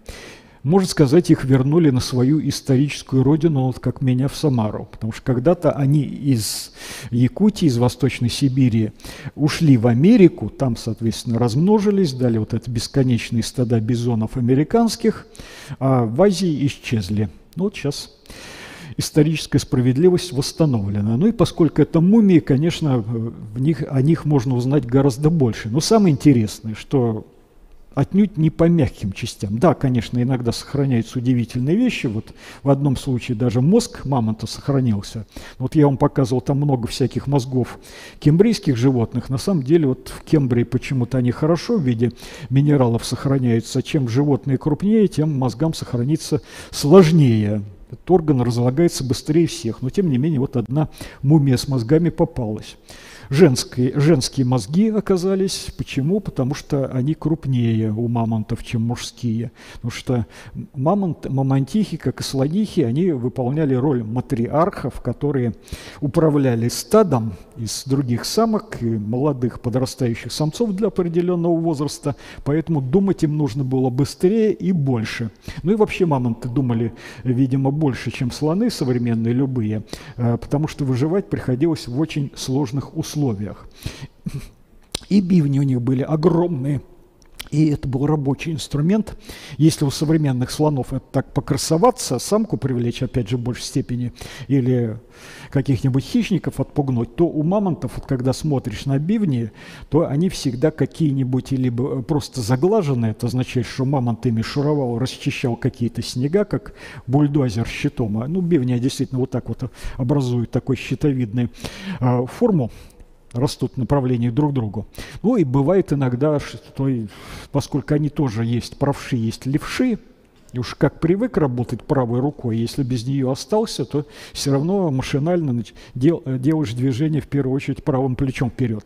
Вот, э, ну, я лично знаю одного такого мамонта, который сломал правый бивень, был при этом, видимо, правшой, потому что левый бивень целехонький у него так остался, а вот правая культяпка у него была уже э, заезжена практически до корня, он ее сравнял э, с черепом, подравнил.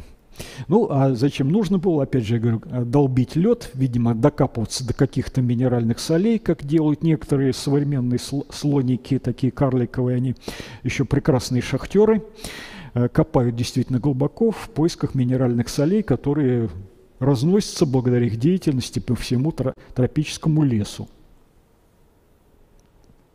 Так, кнопочку нажали. Ну и вот э, судьбу одного такого мамонта лет, точнее, опять же, мамонтихи 35-45 лет, мужчины у них так долго не жили, как правило, можно вот на этом скелете практически полном э, стаймыра посмотреть. Вот все, что черным нарисовано, это э, кости, которые реально сохранились. Один из лучше сохранившихся скелетов. Что мы здесь видим? Во-первых, видим сломанные ребра, они все были сломаны с одной стороны. То есть Дама, видимо, упала откуда-то, или в щель провалилась, или с обрыва. Я вам показывал там машинку. Вот идешь по, точнее, едешь по ровной-ровной тундре, а потом выясняешь, что где-то русло реки, и туда проваливаешься целиком вместе с машиной. Ну, каким бы чутким животным ты не был, тоже шанс всегда был куда-то провалиться, как видно и у всех мамонтов чего-нибудь досломано. Э, обратить внимание на зубы, что они очень так странно растут, так коряво по отношению друг к другу.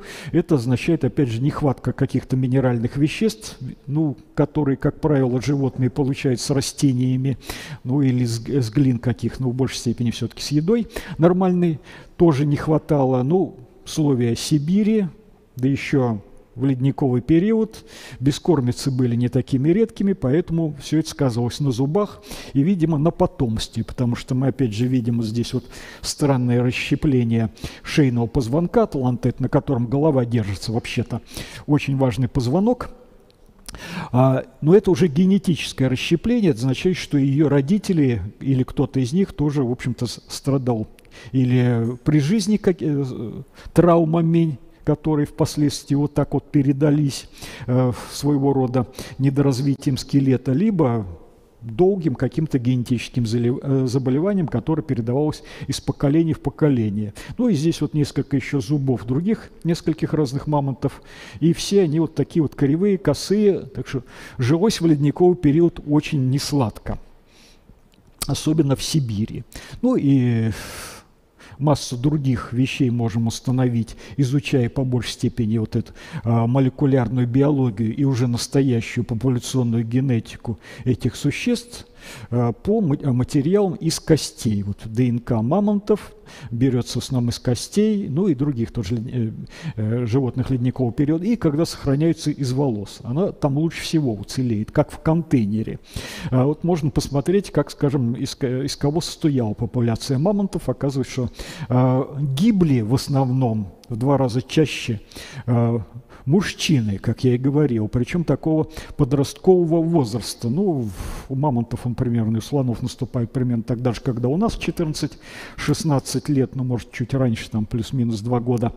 А, что при этом происходит? Вот они жили себе прекрасно среди своих тетушек, э, бабушек, вместе с мамой под, под ее бивнями, под прикрытием, вот до 14 лет. Их кормили, водили, поили, можно сказать. Все замечательно, можно ничего было не делать самим.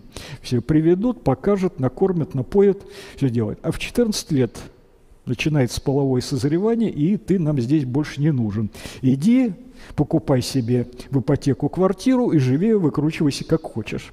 То есть буквально пинками они изгоняются из стада, иногда ходят в одиночку, иногда соединяются с такими мужскими группками, но при этом мужское любопытство, оно всегда побеждает, лезут куда не надо и гибнут в два раза чаще, чем самки. Поэтому то, что мы находим, а, как правило, мы находим то, что погибло неестественной смертью, потому что куда-нибудь провалилось, закатилось, попало в какую-то ловушку и палеонтологи в конце концов это там нашли. Если просто умер, остался на поверхности, ну, как правило, хищники, падальщики растащат, уже в ископаемой летописи этого не будет.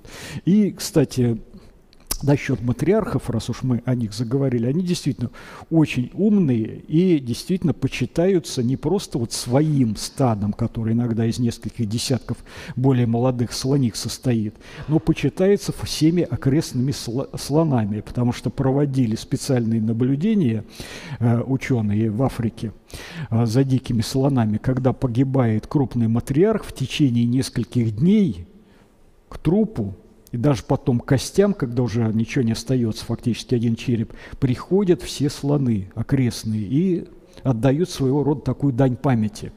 Кладбищу слонов нет, это действительно выдумки, но вот дань памяти у них существует. Ну, не знаю, там на 9 дней, на 40, ну, во всяком случае, приходят. Так, еще чуть-чуть повернем. Так, ну, пещерные львы, которые тоже у них у нас жили в Сибири, тоже в, любили кусать не только э, дичь, ну покусывали основательно и друг друга. Вот здесь на черепе э, пещерного льва видно характерные остатки э, следов клыков другого пещерного льва. Ну, бывают такие случаи, когда э, среди волков, э, которых много часто наблюдают, вот бывают такие поганенькие по характеру звери, что их все норовят укусить. Тут лишь бы отстал и свалил куда-нибудь отсюда. Вот у львов тоже такое происходит у современных. Ну и вот мы, наши, э, точнее, вот э, мои коллеги нашли вот таких вот остатки таких львов, которые, всеми презираемых в Сибири. Ну, Потом начинается глобальное вымирание всей этой ледниковой фауны, к сожалению. А, происходит это по самым разным причинам. Это не какое-то единовременное явление. Вот сейчас, опять же, изучение популяции всех этих зверей показало, что где-то большую роль сыграл климат, где-то большую роль сыграл человек, а какие-то животные на некоторое время даже это выиграли присутствие человека. Вот распространение бизонов в Северной Америке, пока их в XIX веке не начали поголовно отстреливать для борьбы с индейцами, где, для которых они создав... А, а, были основной кормовой базой. Вот, они на самом деле себя прекрасно чувствовали на этом континенте вместе с человеком. Вся фауна ледникового периода исчезла, а бизоны, наоборот, размножились, разбежались по всей Северной Америке. Так, и еще перелеснем это общие итоги, что все было очень непросто, неважно. Ну и напоследок немножечко литературы последних трех лет на русском языке, который я рекомендую почитать. А, вот как раз я начинал со Стива Бруссати, а, с фотографии, где он а, занимается патологоанатомией с, с тиранозавром. Вот это его книжечка «Время динозавров». Она очень хорошо написана, очень хорошо переведена. Ну и кто увлекается вообще динозаврами, книга Дэвида Хоуна, посвященная исключительно тиранозавру, хотя она вышла буквально 7 э, лет назад. За последние 7 лет еще много чего добавилось по этому хищнику. Э, кто еще углубление хочет знать, очень рекомендую.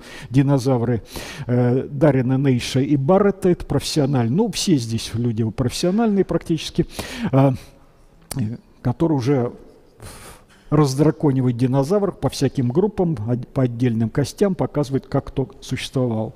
Ну и э, несколько книжек еще наших авторов. Вот в этом году вышла книга Угольникова, он сам э, журналист, научный, но э, умудрился написать очень хорошую книгу, и главное, поскольку он журналист, еще очень хорошим языком. Я с удовольствием легко читается и в то же время очень познавательный, вот даже для меня, как для профессионала, но я все-таки не динозаврами занимаюсь.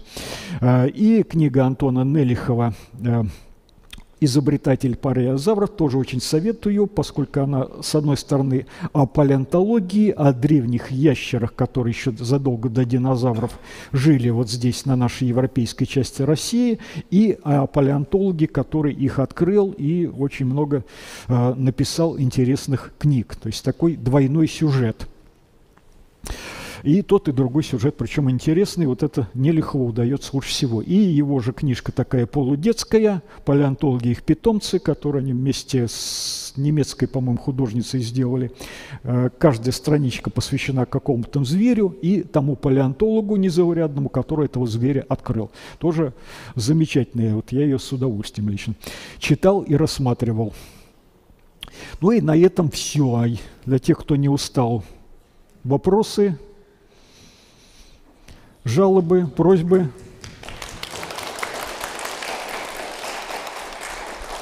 Если есть у кого-то вопросы, наверняка есть, э, я подойду с микрофоном. Угу.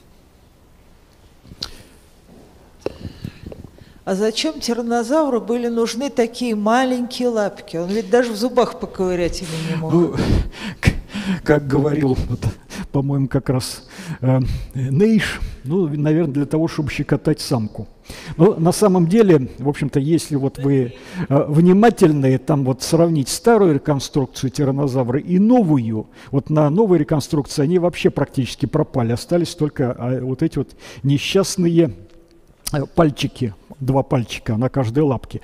А проблема здесь вот, вот в чем. Нужно чем, чем-то пожертвовать. Если у вас так мощно увеличивается масса головы, то нужно что-то компенсировать, убрать передние лапы. Они уже никакой роли фактически не играют. У вас все хватать, э, грызть, удерживать, все перемещается в пасть. Лапы передние уже не, незачем. Э,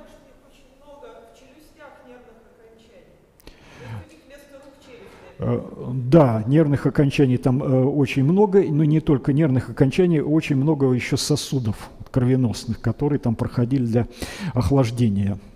Это все, все видно на поверхности черепа. Так, вот там в заднем ряду девочка, вот, пожалуйста, пожалуйста.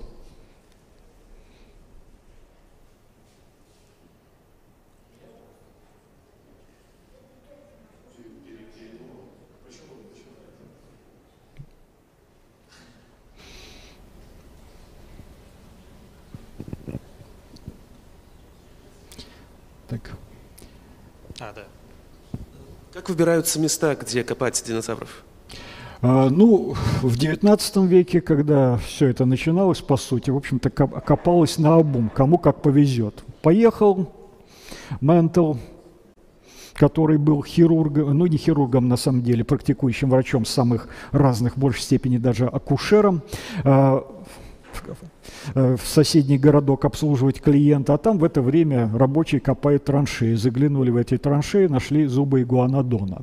Ну, есть такая легенда, может быть, это немножко не так, но примерно так все это происходило. И случайные находки в речках, таких карьерах приносилось, как правило, врачам. Вот, э, ну, наверное, больше половины специалистов по динозаврам, по другим вообще палеонтологическим объектам XIX века – это врачи так уж совпало.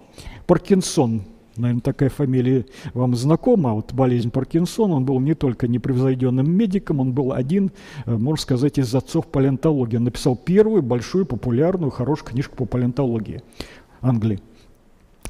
А, ну, а дальше уже когда поняли, что эти остатки приурочены к отложениям определенного возраста, которые имеют определенные признаки, начали разыскивать уже эти отложения. Ну, сначала это все развивалось в Северной Америке, где знаменитые костяные войны гремели э, во второй половине XIX века между Копом и э, э, забыл фамилию второго его соперника, Маршем, да, это не Маршем, которые на самом деле не только друг с другом воевали, но воевали так чисто теоретически, кто больше статей напишет, кто больше костей найдет.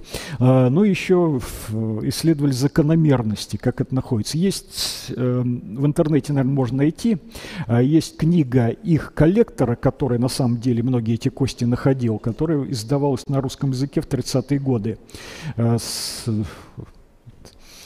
на фамилию у меня, к сожалению, очень плохая память. Звучит она очень по-немецки, в 30-е годы выходила на русском. В интернете висит, можно найти, почитать. Все очень здорово описано и переведено, главное, на русский язык, как это происходило. Ну и теперь, собственно, если мы занимаемся определенной группой фауны, определенного возраста, конечно, мы стремимся туда, где эти находки должны быть. То есть если я занимаюсь кембрием, то в первую очередь и идиокарскими отложениями, то я поеду либо в Якутию, либо в Намибию, либо в Монголию. Ну, иногда в Китай езжу, но там и своих специалистов хватает. Там и так уже в качестве прогулки.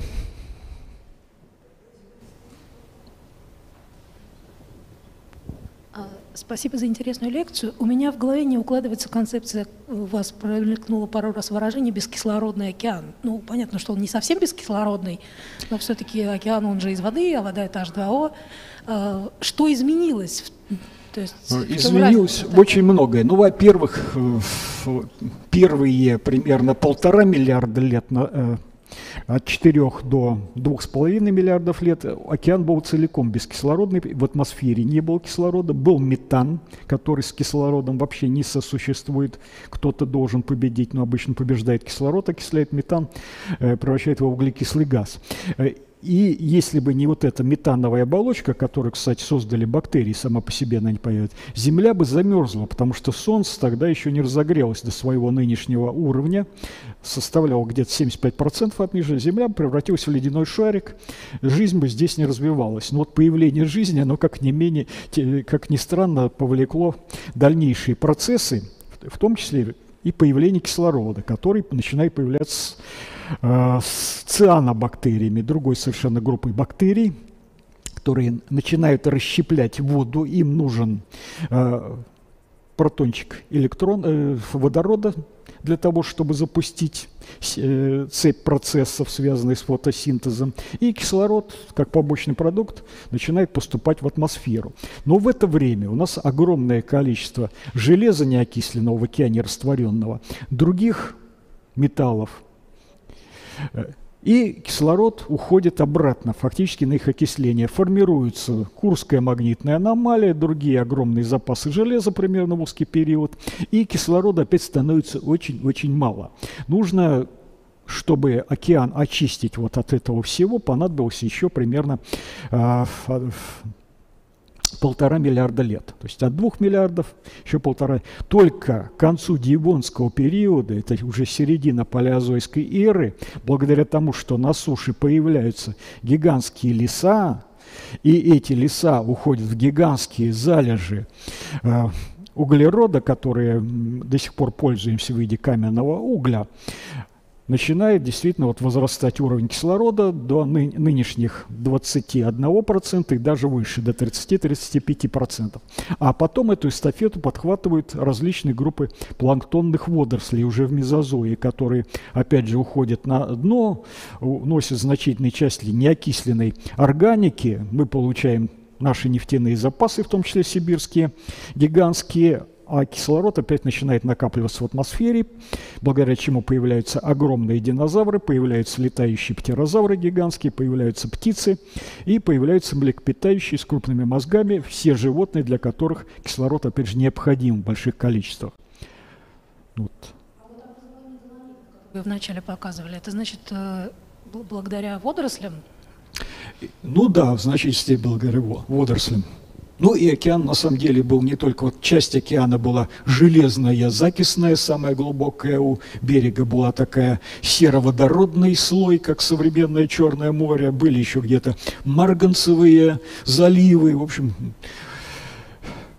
вся таблица Менделеева была в океане, куда ни, в какое море не приедешь, там свои особ- особые геохимические показатели.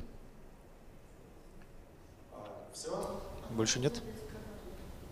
Давайте в микрофон, наверное. Коварный вопрос. Да я сам подойду. Нет, нет, я, я довольно громко говорю. Вопрос такой. Вот мы говорим о том, что есть Простите, у нас просто прямая трансляция еще, и люди будут не понимать, о чем идет речь. материал. Без исходного материала не было бы ничего того, что мы сейчас изучаем. Так ведь? Конечно. Так вот, откуда взялся этот исходный материал? Исходный материал, вы говорите про, собственно, Нет, камушки, про то, с чего все началось. про элементы. Вот когда у нас был Розанов, э, в Тольятти он приезжал, вы знаете Розанова, Мгм. да, академик, ему тоже задали этот вопрос. А откуда же все началось? Ведь для того, чтобы все это, и циан, с цианобактерий вы сегодня начали, да? А откуда они начались? Откуда они взялись? Откуда взялся тот материал, на котором все стоит и развивается? Все из Солнца, все из звезд. А звезды и солнце? Лекция про большой взрыв Извините, должна это быть. такая энергия, она откуда-то должна была взяться. Ну, Как вы относитесь к креационизму? отрицательно. А почему? Но потому что у них нет никакой доказательной базы. У них Ну, единственное как слово... Есть, э, есть ис- документ, который прошел несколько тысячелетий и Какой? до сих Библия. ну, это документ. ну, этому документу всего несколько тысячелетий, а то, о чем мы говорим, это несколько миллиардов лет. А миллиарды что лет, древнее? по-вашему, миллиарды лет, вот те годы тоже имеют 365 дней в году или нет? Ну, Часы имеют 24 часа сейчас, а тогда вы уверены, что это было тоже 24 часа? можем посчитать. Все в ископаемой летописи сохранилось. Тогда годы э, тянули, э, Какие по- в количестве дней были больше, но сам день был короче. И о кислороде вы говорите. Вот задано сразу было кем-то, что мы должны, долж- должны дышать кислородом. А ведь могло быть и наоборот. А Могло, но тогда бы мы не были с такими э, большими мозгами, кто мы бы не были цель? такими Кто большими. поставил цель именно, задал причину и следствие? А здесь никто цель не ставит, здесь как получится. А, как Э, получится? Мы не меняемся, как как не получится. может быть. У нас все, все меняется, и мы должны меняться. Всё вот меняется, если мы не будем проводить реформы, это даже касается конкретно человеческого общества в, отде- в в одной отдельно взятой стране, мы вымрем. Потому что, потому что Когда-нибудь, конечно. Последняя фраза, последний тезис вопросов. Давайте последний. В самом начале мы рассказывали о таких лампообразных э, существах, помните? Ну, просто они могли быть предками губок. э, кто именно? Ну, это такие нам- первые скелетные, да. Намакалатусы? Ну, вроде да. Нет, они более сложные, чем губки уже. Они фильтраторами были? Они были фильтраторами? А, ну, кроме них там жили другие животные. Кто-то из них мог быть предком губок. Не, а вот они... Они нет. У них очень сложный скелет, у губок такого не бывает.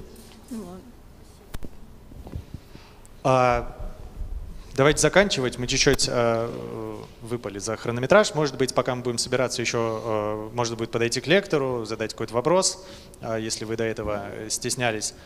А, в целом я с вами прощаюсь. Ищите нас в группе да, Архе Самара, ищите группу Архе Самара, 15 на 4 Самара, там будут анонсы. А, огромное спасибо, что пришли. Я надеюсь, интерес к науке еще взлетит. А, он так хороший взлетит, в отличие от тиранозавра, который так и не взлетел. А, Всем до свидания. Можно купить книжки, наверное, попросить автограф.